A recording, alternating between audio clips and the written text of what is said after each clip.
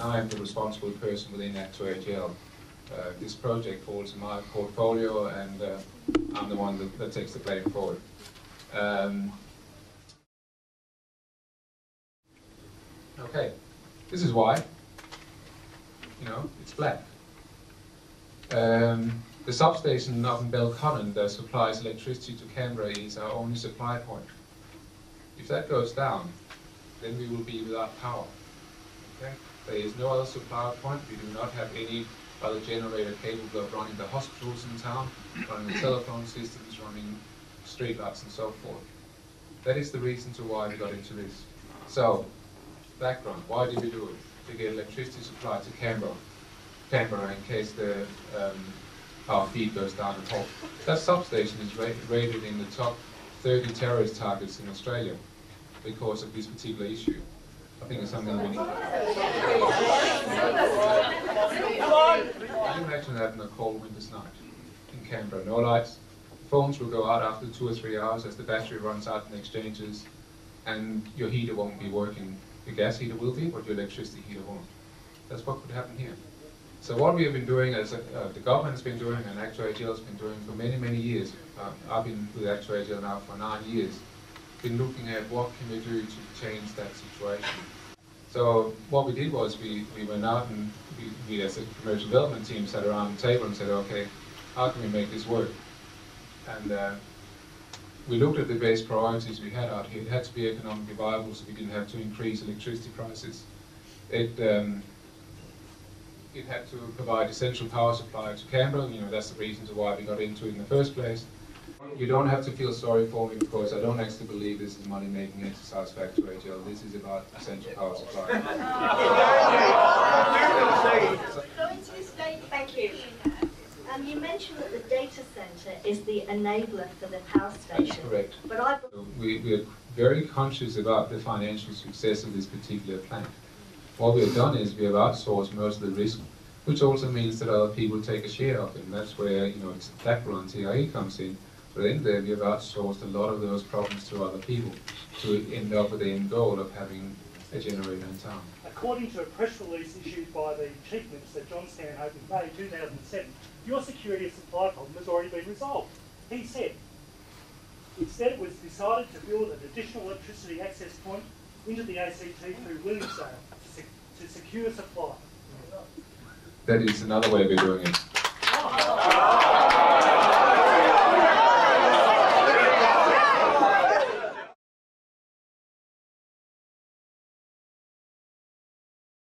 Data centers.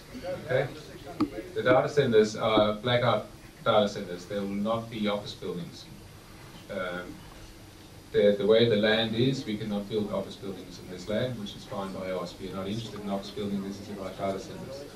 There will, there will be there will be offices for the operational staff, but there will not be a major, you know, block of office buildings. You've rezoned the land already. No, we're not. That's correct. And that's one of the reasons why we can't build office space there, and we won't be building office space there.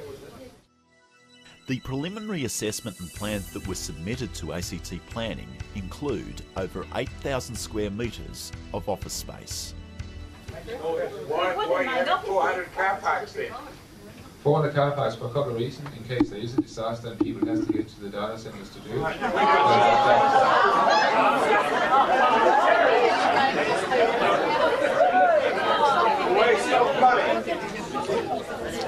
Tony, Tony, you've probably got more scientific answer to why there's 400 yes, water cars. bankrolling project. Where's the two buildings coming from? With um, 22,000 square metres of data centre space, there will be some employees there. Each each of the buildings will require some car, uh, some employees. How many employees? One per shift. How many employees? Not many. It's not 50 and not 5, it's something between that. And it depends on how the employees with configured it. Because that's the only way that I'll be able to work. I, I had to take the blame for that.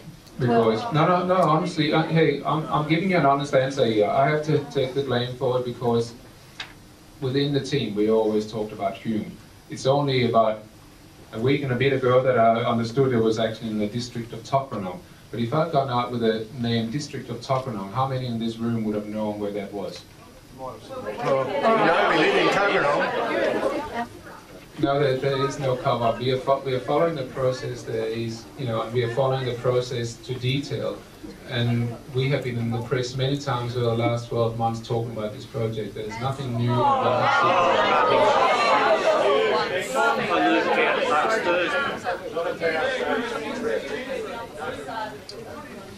can only tell you that, you know, I have certainly spoken about it. I've read a number of press clippings. I've been quoted in the press about this particular issue. So, you and also generator.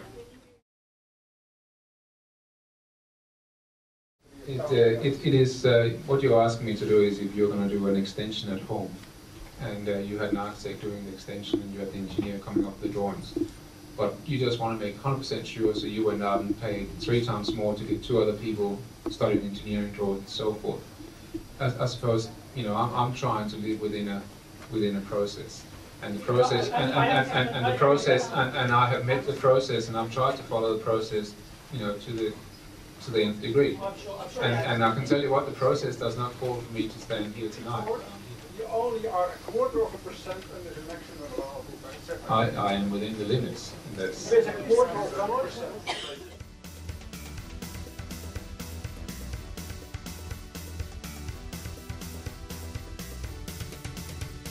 to provide essential power supply to Canberra, you know, that's the reasons why we got into it in the first place. And- And I'm not gonna stand up here and try and pull your leg, because one day it's just gonna come back and bite me in the ass, okay?